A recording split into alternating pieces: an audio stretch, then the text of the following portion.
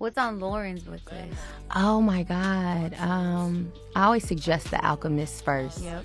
I, my my son is 13. He read it when he was 10. Um, a really good starter book, or not starter book, but a, a, a Yeah. first book for me that yeah was a good introduction to a way of life was The Four Agreements.